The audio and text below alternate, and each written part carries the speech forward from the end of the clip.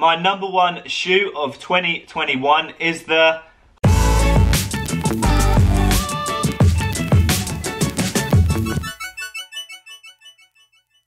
So let's jump straight into this one. I have my top five shoes here of the year in terms of daily trainers, and I'm going to be ranking them starting with number five all the way up to number one. Um, so my favourite shoe of the year. Before we get into this video, I would love to hear what your favourite shoe of the year is. Maybe it's one that I've got here.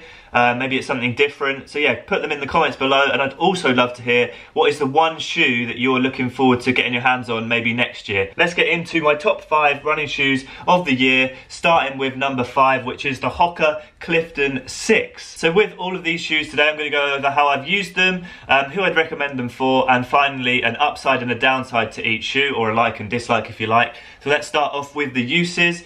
So yes, this shoe is actually from 2019, I believe, when this was released. Um, you can get your hands on the latest iteration of the Clifton lineup from Hoka, but I went for the 2019 uh, model just simply because it is that little bit um, cheaper. I think I picked this up for about between 60 and 80 pounds, I can't remember exactly. Um, bought it at the very start of 2021, so I've had it for a long time now. Um, in terms of uses, this is my go-to shoe when it comes to um, my recovery run. So say if I've had a really big session or my legs are beaten up from a race, um, for example, after the 50 kilometer ultra I did this year, the Clifton 6 was pretty much the only shoe that I could run in for about a week um, after that event, just because it protects the legs really well, um, has no sort of ground contact feel, and yeah, it's great for sort of shins, knees, hips, that sort of thing, in terms of protecting yourself from the impact related um, fatigue from running. So yeah, I'd recommend this shoe to anyone who's looking for sort of a softer ride, a more max cushion shoe in their daily trainer, um, and also somebody who's looking to get a bargain really, because yeah, you can pick these up pretty cheap. And a top tip for buying running shoes is um, maybe look at the previous iteration of the model. So um, maybe the, the one from the previous year or two years ago. They're still great shoes, um, and if you've got on well with them, definitely um, pick them up a second time um, yeah, you can just save yourself a bit of money, and this one has been a great example of that. Um, yeah, got my money's worth out of this one, and it's been great for those sort of recovery runs. So that's the Clifton 6 in at number 5. We're done with that one. Moving on to number four is the On Cloud Stratus um, from On Running. In terms of the uses, this has been my go-to long run shoe when I'm focused on time on my feet. Um, so if I'm doing a faster long run, I sort of go for a carbon plated shoe like a Vaporfly or an Alphafly. Um, but for a long run where I'm not worried about the pace, so it's more of an easy effort. Um, so when I was training for the ultra marathon, where I was focused more on time on the feet, um, this shoe was great. It's uh, yeah really good for those longer runs. Um, I really enjoyed the ride. I've also used it for my sort of warm-ups. So before a race, I would wear this shoe, um, and also for walking. Actually, if I go on a family walk, um, this is a great shoe for, for just walking around. So it's a good shoe for a lifestyle shoe almost that you can do your running in, but you can also work, um, walk to and from the office, that sort of thing in this shoe. So the real standout point for this shoe was its sort of transition in the foot strike. So I'd recommend it to anyone who is a heel um, to midfoot striker like myself. I tend to land more on the, the midfoot or heel of the shoe and I get a really nice transition so when I land on the heel gives me a really nice transition through the foot strike um, and this cloud technology that they have in this shoe is, is yeah it's really good and that's probably the standout feature. So I'd recommend it to anyone who's more of a heel striker really. If you're if you land on your toes, it might not be the best shoe for you. Um, but yeah, that's how I've used it and who I would recommend it to. So on to the upside and downside. The downside for me is this one is a little bit too heavy for my speed work. You can do speed work in it and I have done, um, but I tend to favour other shoes for that sort of work just because the weight in this one is a little bit on the heavy side. But the upside to this shoe is definitely the ride, like I was talking about. A really, really enjoyable shoe to put on your feet, and every run I've done in it so far, I've, I've really enjoyed. So yeah, the On Cloud Stratus from On Running is number four. Moving on to number three. Um, in number three is the Rebel V2 from New Balance. Now, I believe this is actually going to be a lot of people's favourite shoe of the year, but for me, only number three. Um, I've used this for sort of my shorter runs um, speed work. It's a very, very soft and responsive shoe. Um, I tend not to take it over distances for any further than 12, 14k, sort of the longer stuff. Um, just because it is such a soft shoe and um, yeah for me it doesn't have any support so Um, I tend not to use it for the longer stuff just because I prefer a bit more support on those sort of runs. But this has been great um, for my easy runs, my speed work on the shorter side of things. I've even raced the sort of 5k in this shoe and it's performed really well. So who would I recommend this shoe? Um, pretty much everyone will get on well with this shoe, but it would be more suited to people who do shorter stuff. Um, so for me, I, like I said, I probably wouldn't take this further than 10 kilometers now, having other shoes in my rotation. So if you're somebody who runs sort of 5 and 10k runs maybe two, three, four times a week, this is a great shoe to add to your rotation. Um, yeah, lovely, soft, um, responsive ride.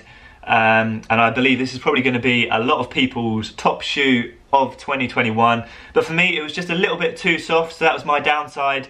Um, I prefer a little bit more structure, but then again, it is a really, really fun ride. And um, yeah, I've never run in a shoe that is so soft and responsive. So you really sink into that midsole and you can really feel a, a big toe off um, sort of repul repulsion. Is that a word? Anyway, moving on to number two. So which shoe is going to take the top spot? In at number two, it's between the Hoka Mach 4 and the Saucony Endorphin Speed 2. The number one spot goes to the Hoka Mach four. Um, I'll talk about that in just a minute. But in the number two spot is the Saucony Endorphin Speed 2. Um, yeah, really enjoyed this shoe. I haven't had it that long, so maybe if I'd had it a little bit longer, it would have taken the top spot. Nothing really to report in terms of dislikes of this shoe. I absolutely have, have loved every single run in it so far. Um, so I've used it for my easy runs all the way up to my track workout. So it's definitely a shoe that suited more to the sort of speed work, hence the name Speed. Um, so if you're somebody who's looking for a shoe to do their tempos, um, their interval working, um, this is a great shoe for you to pick up. In terms of who I'd recommend this shoe to, pretty much everyone is going to get on well with this. Um, yeah, it's a very versatile shoe, very comfortable, um, responsive. It has a nice amount of cushioning. So yeah, it's got, got a lot going for it um, that a lot of people are going to get on well with. So I pretty much recommend it to everyone. So onto my downside and upside for this shoe. Start with the downside is it's not the best in the wet conditions. So I found it can lack a little bit of uh, traction um, say when the track is a bit damp or the roads are a little bit damp from the rain. Um, so yeah, that's the only reason why really I've chosen the Mach 4 over the Endorphin Speed is just because it lacks a little bit of traction in the wet and that's my only downside for this shoe. The upside for this shoe is it's pretty much a racing shoe that you can use for your daily training. Um, so this one has a nylon plate and it's the only one of my shoes in my daily rotation that has a plate in it. Um, but because it is nylon, it's a, it's slightly more um, forgiving than say carbon plated shoes. So the, my definite upside for this shoe is it's basically a shoe that you can race in. Um, but you can also use for your daily training, which is a great feeling. If if you're struggling to get out on a run, to be able to pick up this shoe and take it out, um, yeah, it really motivates me to get out because it is like putting on your race day shoes. So my number one shoe of 2021 is the Hoka Mach 4. Um, yeah, I've really, really got on well with this shoe. I picked it up at the start of the year and I've done about a thousand kilometers in it. Um, and despite my um, first impressions being it wasn't going to be super durable because a lot of this um, midsole here is is exposed. There's not a lot of harder rubber on the bottom. Um, it's done really well in terms of durability. Yes, it's worn down a little bit here and here, but I've put yeah a lot of miles into this shoe, about a thousand kilometers now, and it is still going strong. Um, the reason why I picked this as my favourite shoe of the year is just mainly because of its comfort. Um, I've never worn a shoe that is as comfortable as this one. Um, Hoka have really, really nailed the lockdown of this shoe. Um, it just sits on top of the foot and when I talk about comfort, it is mainly that upper. Uh, my toes come right to the very end of this um, toe box. My heel feels nice and secure. There's a great amount of padding. Um, but also they've not made a heavy shoe, which some people, some shoe companies do when they look for comfort. In terms of uses, I've mainly used this as my mileage shoe, so I use it for my easy runs.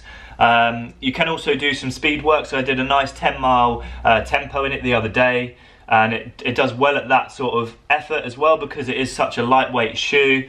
Um, you've got a nice balance in the midsole between cushioning and this Pro-Fly, so it's a sort of a double um, sectioned midsole here. So this is sort of more hardened EVA and this is sort of a softer cushioned, um, more responsive EVA. I'd recommend this shoe to pretty much everyone. Um, Again, anyone who's looking for sort of a shoe that you can basically do everything in, your speed work, um, you can even race in this shoe because it is so light, um, and its comfort is above and beyond any of the shoes I've tried today um, by a pretty long way, to be honest with you. Um, I don't know what it is about this shoe, it just sits on the foot perfectly, um, the ride is great, and yeah, I can't fault it at all. But saying that, if I did have to give an upside and a downside, the downside would be it's not quite as responsive as some of the shoes I've tried this year. So for example, the Endorphin Speed and the Rebel V2 are much more responsive than the Hoka Mach 4. Um, just the way the midsole is designed. That has not really been a problem for me because I've used this mainly as easy run shoe and yeah, it has a great,